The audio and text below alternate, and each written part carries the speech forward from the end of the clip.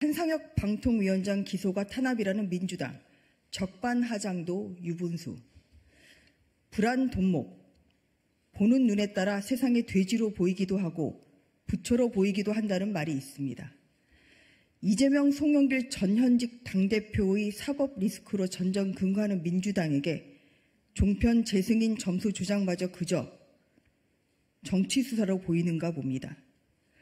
문재인 정부의 방송통신위원회는 정권의 입맛에 맞지 않는 방송사를 재승인을 무기로 길들이기 한 사실이 만천하에 드러났습니다.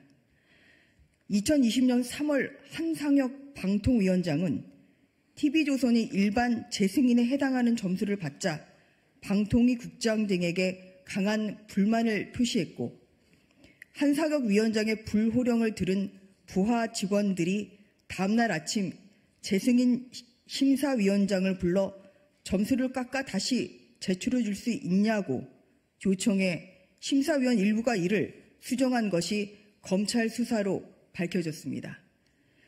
모르쇠가 요즘 민주당 측 인사들의 트렌드인지 한상혁 위원장 역시 자신의 혐의를 강하게 부인하고 있지만 한상혁 위원장의 불호령을 들은 담당 국과장과 심사위원장의 구속 귀소됐다는 점에서 그의 주장은 신뢰하기가 어렵습니다.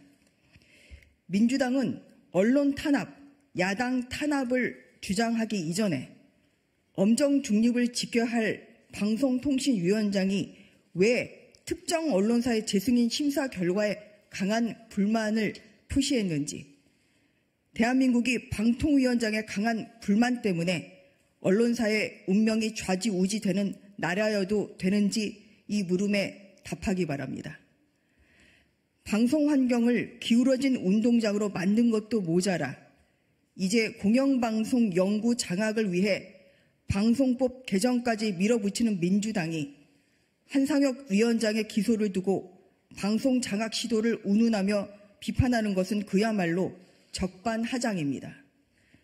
한상혁 위원장에 대한 준엄한 심판이야말로 방송의 자유와 독립을 지키는 계기가 될 것입니다. 끝으로 한상혁 방통위원장에게 촉구합니다. 자신으로 인해 자신이 몸담은 조직이 지금 얼마나 망가지고 있는지 한번 돌아보길 바랍니다. 두 번째 논평입니다. 이재명의 이재명에 의한 이재명을 위한 민주당. 오늘 전당대회 돈봉투 살포 의혹에 연루된 윤관석, 이성만 의원이 더불어민주당을 자진 탈당했다고 합니다. 경악할 것은 이재명 대표의 내로남불입니다. 언론 보도에 따르면 이재명 대표가 전날 윤관석 의원을 만나 저녁 식사를 하는 자리에서 윤 의원에게 탈당해야 한다고 설득했다는 것입니다. 이재명 대표에게 염치라는 건 없나 봅니다. 대장동, 백현동, 위례신도시 개발 비리, 성남FC 불법 후원, 쌍방울 대북 송금, 불법 선거 자금 수수 등 자신과 관련된 수많은 범죄 혐의, 혐의가 속속 드러나자 이재명 대표는 대선 패배에 대한 자숙은커녕 국회의원 보궐선거에 출마하고 당대표까지 출마했습니다. 이도 모자랐는지 당원을 개정하고 쌍특검을 밀어붙이며 방탕복을 겹겹이 껴입었습니다. 당이 침몰하든 말든 자신에 대한 수사를 정치 탄압이라 규정하고 민주당 의원들에게 방탄 대우를 주문했던 그가 전당대회 돈봉투 살포는 철저히 남의 일이라고 본 모양입니다. 민주당은 이재명의 이재명에 의한 이재명을 위한 민주당이 아닙니다. 지방자치 권력을 사유한 사건과 매표 행위를 한 사건 모두 부정부패 범죄일 뿐입니다. 검찰도 민주당도 두 사건의 처리를 달리할 이유가 전혀 없습니다. 윤관석, 이성만 의원에게 했듯이 이재명 대표에게도 동일한 잣대를 대십시오.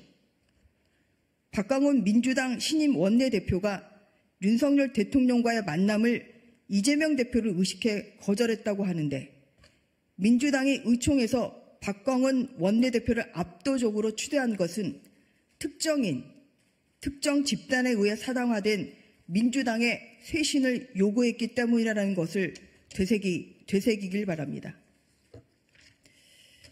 세 번째 논평입니다.